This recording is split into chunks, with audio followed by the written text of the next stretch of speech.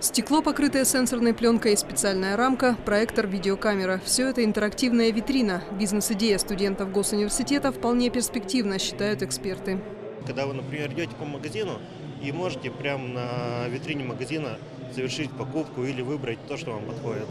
Оригинальная идея нуждается в выгодной подаче, а для этого разработчику необходимо умение убеждать, формулировать свои предложения кратко, но интересно, считает Владимир Якуба. Руководитель столичного кадрового агентства провел семинар-тренинг для пермских предпринимателей. Эксперт утверждает, слово – великая сила и часто залог успеха.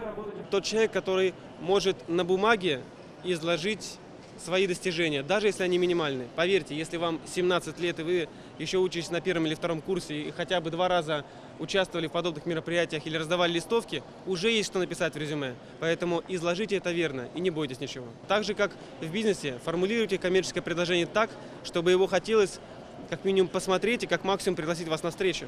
Для тех, кто только начинает, и для опытных акул коммерции на Пермском бизнес-форуме организованы семинары и тренинги по темам «Начало бизнеса», «Кадры», «Маркетинг и финансы», «Стратегия». О ситуации на современном рынке, о путях развития компаний шла речь на одной из площадок форума.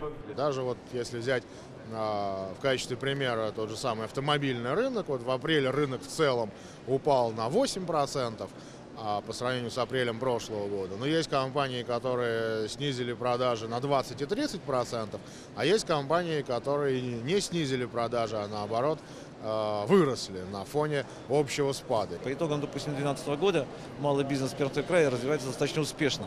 По сравнению даже с другими субъектами Российской Федерации количество предприятий возросло достаточно серьезно. И это говорит о том, что все-таки малый бизнес на территории Перми имеет шансы к своему развитию. Пятый форум, он уже направлен на развитие бизнеса, на динамику бизнеса. Пермский бизнес-форум проводится пятый год по инициативе главы администрации Перми Анатолия Маховикова. Это переговорная площадка для власти предпринимателей кредитно-финансовых учреждений. Генеральный партнер форума Сбербанк. Он также представил программы по развитию малого бизнеса. Юлия Языкова, Евгений Шленко, телевизионная служба новостей.